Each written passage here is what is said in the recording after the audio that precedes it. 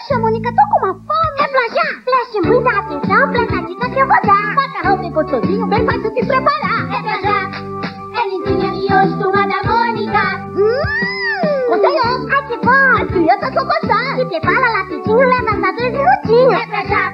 É lentilha, miojo, turma da Mônica. É nutritivo, uma delícia. Tem sabores pra você. Tem de carne, de galinha, de tomate, pode crer. É lentilha, miojo, turma da Mônica.